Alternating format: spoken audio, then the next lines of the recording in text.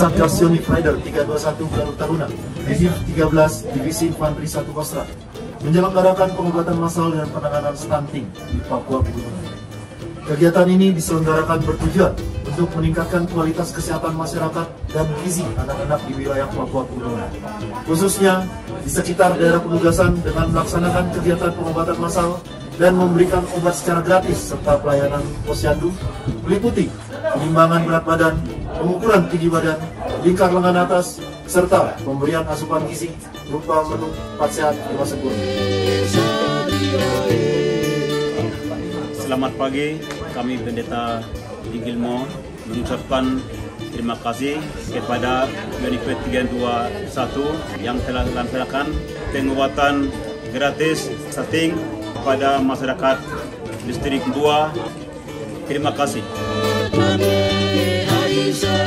dizer.